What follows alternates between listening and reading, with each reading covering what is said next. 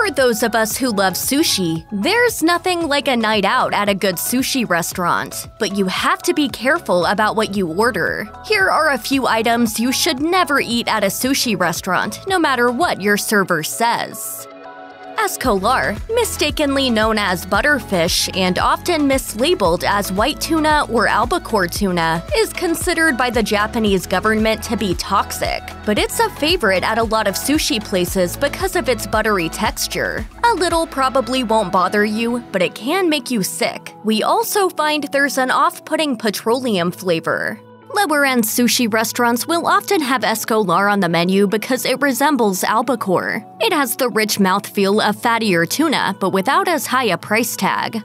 You'd be hard pressed to find a super high end sushi restaurant serving this fish. You'd also probably be hard pressed to find it at your local grocery store, because in North America, it's mostly seen in sushi, though it's easy to find online. But what you really need to know is that escolar is a different species from actual butterfish, which is a small, fatty, and delicious fish found on the Atlantic coast of North America that's very sustainable. But that's not the fish sold as butterfish at most sushi restaurants. So you're best avoiding butterfish unless it's locally caught butterfish and not escolar.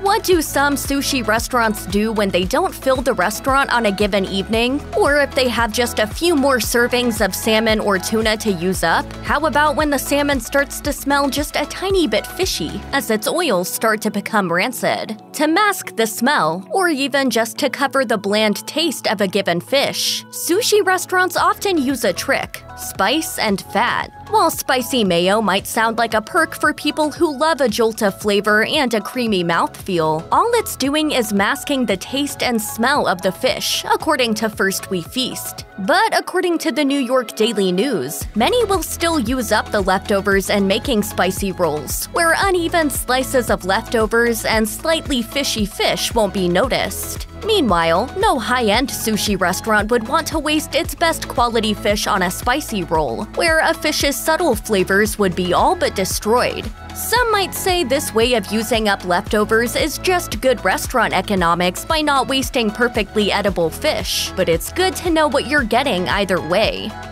If you've ever been to an all you can eat sushi restaurant and left feeling stuffed to the brim with rice rather than fish, you're not alone. Margins at all you can eat places aren't going to be very high if every person who comes in gorges on sashimi quality fish for $14.99. There's a reason the sashimi menus at these restaurants are often a bit shorter if you're ordering all you can eat rather than a la carte. It's just not sustainable. That's why some sushi restaurants will smartly pad the maki with excess rice to make each roll bigger, your stomach fuller, and your eyes and mouth happier, according to the worthwhile Canadian initiative. When sushi chefs make inside out rolls, they're doing an even better job of fooling you, since those rolls are harder to close and generally aren't stuffed as full of ingredients, making the rice to fish ratio higher. Some places will be more generous with their fish, of course, but you try rolling your own inside out roll sometime and see how full you can make it before it falls apart. Then you'll probably have a bit more compassion. Would you be surprised to know that the $10 slice of red snapper you're eating is actually sea bream or even cheaper tilapia? While most sushi restaurants aren't intentionally mislabeling their fish, the traceability and limited names of species that can be used for importation make it near impossible for a restaurant to always serve what it thinks it's serving, even with the best intentions. In a 2017 study, 47% of fish at 26 Los Angeles restaurants was mislabeled, the highest percentage in the country of places tested, says Oceana. The best way to help fix the problem is to always ask your sushi restaurant where each fish is from and what it is. Though that probably won't solve the problem, it will still make staff more aware of the issue, who might ask their fishing companies. The same way that spicy mayo can cover the flavor of fish, Fancy sauces can also mask what's underneath, as noted by First We Feast. While it may or may not be a quality concern, it can be an awful shame when you've got a gorgeous slice of sea bream drowning in an overbearing teriyaki truffle sauce. Big sauces can even overpower even strong flavored fish like salmon and mackerel. So the question is what do you want to taste, the fish or the sauce? If it's the sauce, then go ahead and order that roll. But if it's the fish, you might be better off with sashimi or nigiri. Are you selling this? My neighbor is. It's amazing. The trick to ordering appropriately at a sushi restaurant is to ask when the fish arrived or was thawed, to know your FDA approved thawing guidelines, and to remember that if the fish is really fresh, the restaurant is going to want to show it off, not hide it. Traditionally, fish markets in a lot of places around the world are closed on Sunday and often Monday, meaning restaurants that served fish on those days were buying their fish on Saturday or earlier, according to First We Feast. Even now that more markets are open on those days, your fish shop might not be getting deliveries, meaning your sashimi grade ama ebi shrimp or raw scallop, if it's not frozen and thawed, might be a day old, which might leave you a bit more hesitant about getting that double order. If you want the freshest possible fish, you're going to want to buy sushi on the day it arrives at the sushi restaurant, and as quickly as possible after it's been pulled from the ocean. On days when no fresh fish is coming in, one good strategy is to stick to fish that's been thawed recently. Many types of fish are caught and immediately flash frozen on the boat, which can result in even higher quality than storing and shipping them on ice, where the temperature is likely to fluctuate and quality to degrade over time. Many larger fish, including salmon, even need to be frozen to reduce the risk of parasites. So ask what's fresh, frozen, and at its best, then order accordingly. Unlike a lot of fish that's mislabeled, imitation crab is very honest about being fake. People should be able to tell real crab from fake crab. You gotta be a moron if you can't tell the difference. That's what I think. Called kanikama or surimi, it's actually just ground whitefish, often pollock, mixed with binders like wheat starch, as well as salt, egg, sugar, real or artificial crab flavoring, MSG, and food coloring, then shaped into something resembling a shelled crab leg. Kanikama is found in most California rolls and less expensive rolls, since it's an inexpensive filler with a salty, sweet fish flavor. Snow crab and king crab are much more pricey, but also free from gluten and preservatives. So if you want a high-end Alaska roll or California roll, ask your sushi chef to sub in the real deal. Just expect an accordingly large jump in price.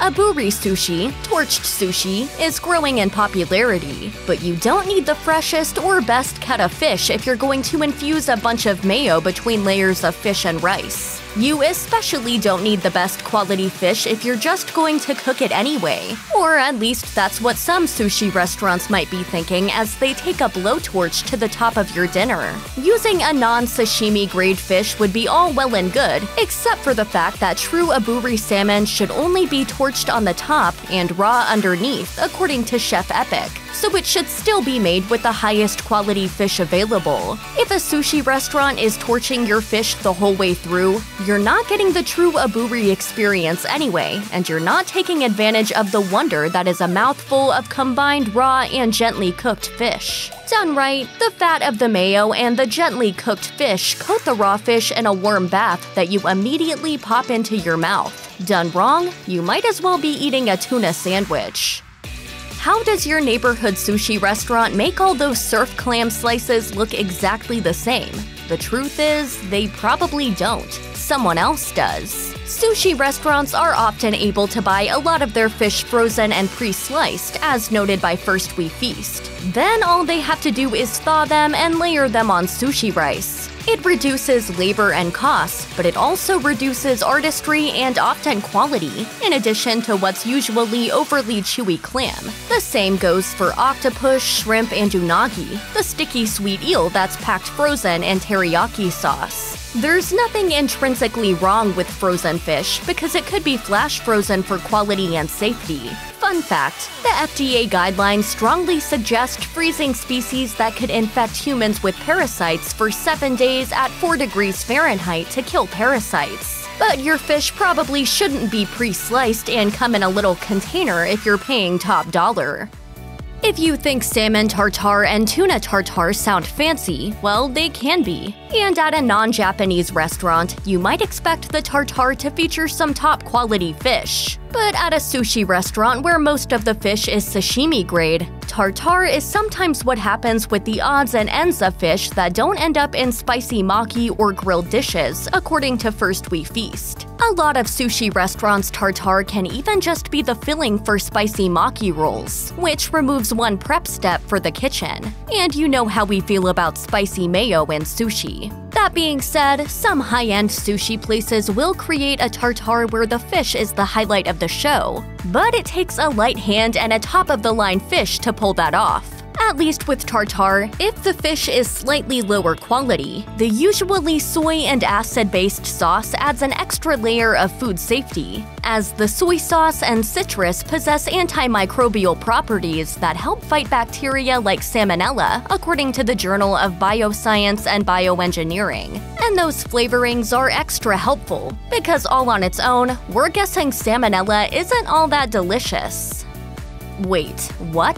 Acupunctured sushi? Yes, that's a real thing, as noted by Sushi FAQ. The idea is based around wanting your fish to be as fresh and relaxed as possible when the end is near. However, most North American restaurants don't have a tank of tuna or snapper or even mackerel in an aquarium in the kitchen waiting for your order to come through, and most fish get a little agitated when they're yanked from the water. So some chefs have started ordering acupunctured fish from Japan, where the fish is pricked with needles and essentially goes into a coma and stays in it for about 12 hours of transit time. After that, it gently dies, but it sort of seems like its life continues in a zombie like state inside a saltwater soaked shipping envelope.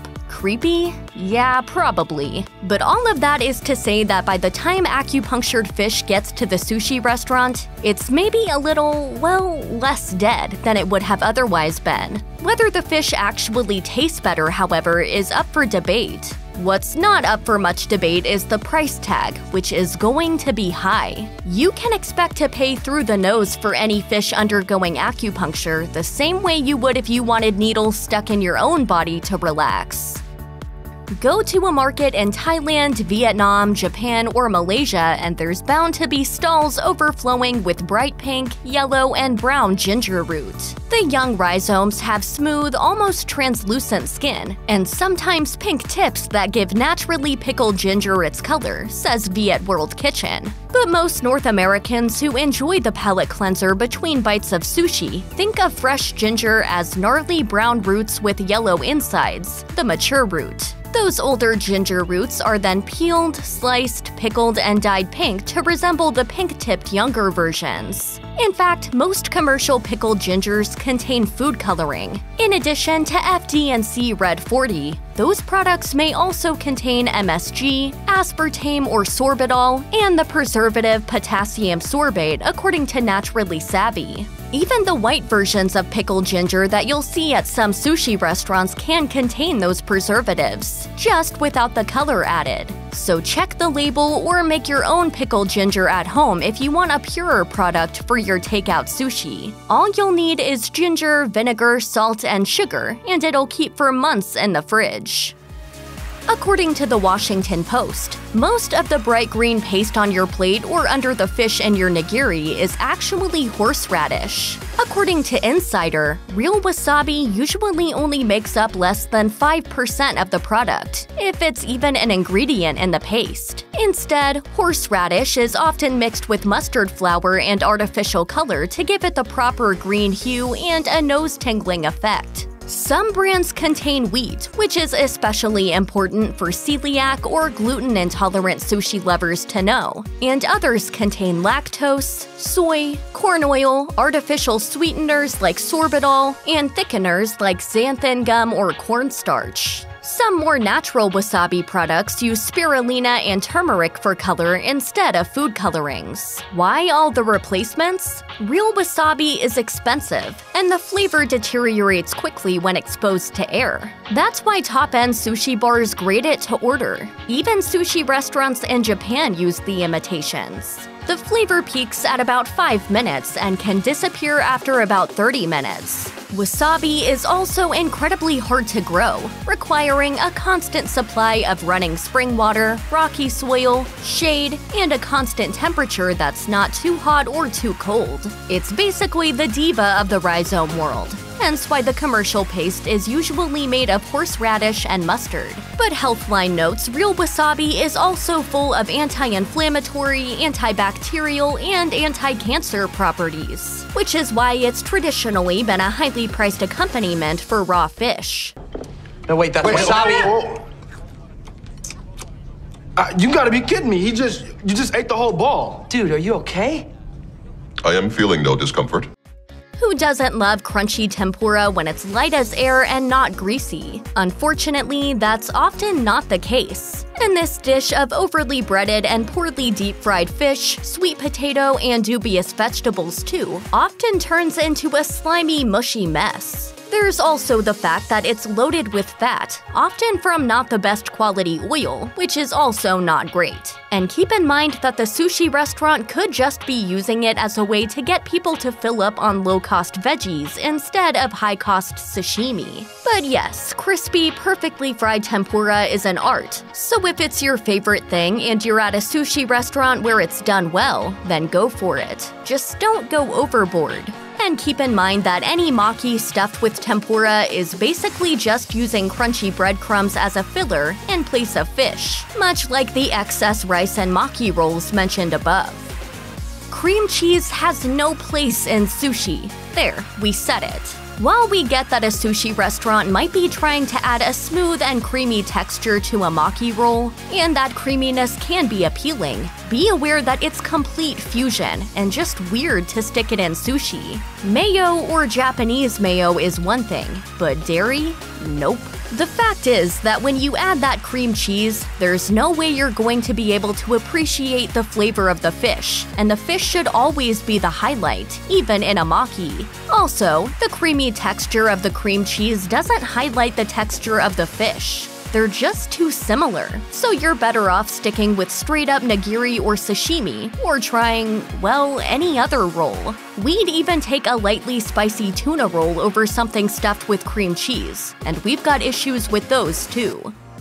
Have you ever wondered why a lot of those seaweed salads at sushi restaurants are exactly alike and neon green? It turns out that they often come frozen in big tubs and are thawed by restaurants as needed, and that the color comes from food coloring. Plus, these can contain MSG, fake sugars, preservatives, and even high fructose corn syrup. And if you maintain a gluten free diet, beware that seaweed salads usually contain soy sauce, which, in addition to being high in sodium also usually contains gluten. However, seaweed does have extensive nutritional benefits, including vitamin K, iron, and folate. To that end, you should order it if the sushi restaurant makes the salad themselves and can tell you exactly what is and isn't in it. But you should also make sure that the seaweed is sustainably harvested, because sometimes it's not, with large scale kelp production sometimes leading to overly shaded oceans. That can hurt phytoplankton, which is essential to marine environments. So ask some questions before you order your next seaweed salad. The amount of white rice consumed at a sushi restaurant is kind of mind boggling and not particularly healthy. Even eating a few maki rolls means having to take down loads of rice. In fact, a full sized roll can sometimes use an entire cup of seasoned rice. Since carbs increase your insulin and blood sugar levels, eating too many of them isn't a great thing, especially since they're salt and sugar added. Two tasty additions that are easy to eat too much of at a sushi restaurant when you're most likely going to be adding soy sauce and pickled ginger to your nigiri, sashimi, and maki anyway. Instead, try swapping out white rice for whole grain brown rice in your rolls if that's an option. Full of fiber and more filling than its counterpart, brown rice makes you fuller, naturally preventing you from binge eating. Or try ordering some sashimi to go with your favorite roll and reduce the total carb intake that way. Protein will keep you satisfied much longer than carbs like white rice. Tobiko sushi or fish roe is not a very healthy choice when eating out at a sushi restaurant. First off, they're chock full of saturated fat and cholesterol, according to Medical News Today. And since the eggs are preserved with salt, artificial colors, and preservatives, they're not quite as natural as sushi should be. Unlike those bigger spheres of salmon roe, tobiko usually come from flying fish. Unfortunately, in addition to some neon colors, Tobiko often contains sugars, MSG, and wheat. That's bad news for anyone who's gluten intolerant or has a wheat allergy. Yes, we know that Tobiko is pretty, and those little briny pops are fun, but check those ingredients and be careful of your cholesterol intake. Basically, just don't overdo it, because that saturated fat adds up fast, especially if you're ordering tempura. Soy sauce is delicious. There are a whole range of flavors, from light to dark, yuzu spiked to sweet, and young to barrel aged. But soy sauce is loaded with sodium, which can contribute to spikes in your blood pressure, according to Healthline. Regular soy sauce can contain upwards of 1,160 milligrams of sodium per tablespoon serving. While low sodium versions of the sauce contain less, they're still pretty salty. And plenty of people refill their little soy sauce dish more than once in a meal. How many times have you dropped a roll in your soy sauce dish and ended up picking out all the now soy sauce drenched rice kernels? And how many times have you been thirsty after a sushi meal? If you must have this popular condiment with your sushi dishes, try to dip only the fish part of nigiri or a tiny bit of a maki piece in your soy sauce rather than treating your food like it hasn't bathed in weeks. We do not recommend soy sauce with that particular roll. No soy sauce! Have you seen Seaspiracy? Even if you already knew that Asian shrimp farming wasn't sustainable, the human slavery and violence involved in the business, in addition to the environmental impact, makes ordering shrimp at a sushi restaurant a pretty unappetizing option. Since even certified sustainable fish are just too hard to trust these days, it's best to avoid shrimp altogether. That is, unless you know what you're eating was caught locally and sustainably in season, or comes from a couple of new inland farmed shrimp companies that are trying to scale, according to Aquaculture North America. Those jumbo shrimp that come fresh or frozen at the grocery store, though, not so great for the world. On top of that, the shrimp used to top nigiri are often also pre frozen and pre sliced, which we think should be avoided if you're looking for a quality sushi experience. So while they're delicious and tempura, we know we just can't get behind them. We'll be sticking to the zucchini and sweet potato tempura when we need a battered hit of deliciousness for the time being. People have been sounding the alarm on farmed Atlantic salmon for years. FYI, Atlantic salmon refers to the species, not the area where the fish is raised or caught. So, Atlantic salmon is often farmed in the Pacific Ocean, as well as Norway and the northeastern Atlantic Ocean, according to the Natural Resources Defense Council. However, SeaChoice points out that not all farming operations are created equal, and they don't all dump antibiotics into open water. That practice impacts wild species and is awful for the aquatic ecosystem, so you'll want to know what your farmed fish were fed and how they were kept healthy, or how that sickness was treated or prevented. And those are generally questions that your local sushi restaurant can't answer, though they should be able to.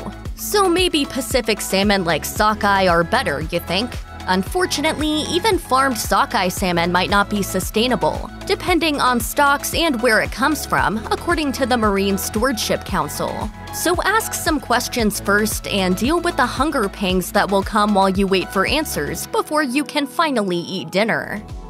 Just because farmed salmon can be less than great, that doesn't mean that wild salmon is better. Among the differences between wild salmon and farmed salmon, wild salmon are often overfished, depending on the fishery. Some are managed better than others, as noted by the Marine Stewardship Council. However, it's hard to know where something came from and how it was caught, especially if it's from a large fishery. There are some great family run companies in Alaska, but they can only provide so much salmon. And demand is definitely high as more and more people learn about the sustainability or the lack of sustainability of fish. And if you think you're buying wild salmon, there's a decent chance you're actually buying farmed salmon, according to Time. Wouldn't you like to know if your salmon has been doused in antibiotics? Oh, and by the way, there's no such thing as commercial wild Atlantic salmon according to Our Wicked Fish. So if a restaurant says they have wild Atlantic salmon, they're wrong, whether they know it or not. Salmon aren't the only overfished species. In fact, a lot of fish are overfished. A lot of fish are also mislabeled too, so even if you think you're buying a sustainable piece of nigiri, you might not be. Or your sustainable Pacific cod could be Atlantic cod, and your line caught mackerel could be bottom trawled according to seafood results. There are, fortunately, some sushi restaurants that sell only sustainable fish, which takes the guesswork and stress out of ordering. So, unless you want to stick with avocado rolls or spend the night checking the sustainability of longline sea bream on your phone, get ready to spend a little extra on some peace of mind. How about that unagi, aka eel? Because yeah, a dinner at a restaurant that only serves sustainable fish will probably be more expensive. But you know what's even worse? Never being able to eat fish again because it's all gone. Check out one of our newest videos right here. Plus, even more mashed videos about restaurant do's and don'ts are coming soon. Subscribe to our YouTube channel and hit the bell so you don't miss a single one.